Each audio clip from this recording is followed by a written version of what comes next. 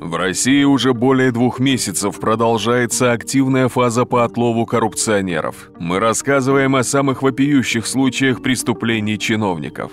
На этой неделе силовики возбудили уголовное дело в отношении руководителей оборонного предприятия АО «Звезда Стрела», которые занимались воровством бюджетных денег при выполнении важнейшего государственного оборонного заказа. Оборотни наплевали на жизни наших солдат и уже доказано хищение на десятки миллионов рублей.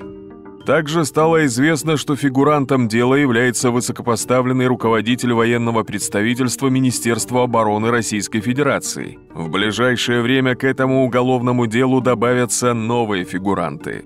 Также новости пришли из Росприроднадзора, где на взятки поймали экс-начальника Росприроднадзора по ПФО Олега Кручинина.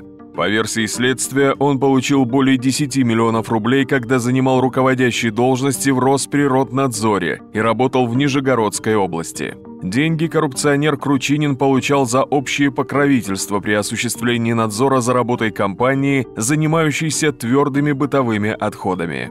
Также стало известно, что Замоскворецкий суд Москвы приговорил в особом порядке к четырем годам условно бывшего советника руководителя ФСО Михаила Серова – он признан виновным в хищении бюджетных средств для спецслужбы. Нанесенный государству ущерб составил 49,5 миллионов рублей. Помимо осужденного Серова, фигурантами расследования являются двое экс-сотрудников ФСО и двое коммерсантов, дела в отношении которых судом пока не рассмотрены.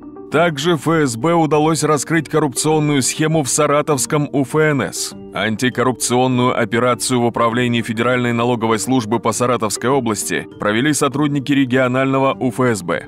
По предварительной информации, должностные лица УФНС занимались продажей данных о налогоплательщиках. Задержаны высокопоставленные сотрудники ведомства.